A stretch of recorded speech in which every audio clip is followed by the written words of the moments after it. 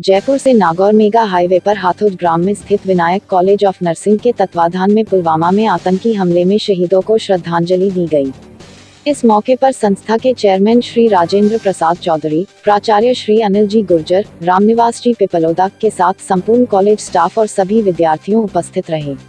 इस मौके पर कॉलेज कैंपस से गोविंदपुरा तक जुलूस निकालकर आतंकवाद तथा आतंकवादियों के खिलाफ आक्रोश व्यक्त किया और आतंकवाद को जड़ से खत्म करने की अपील की।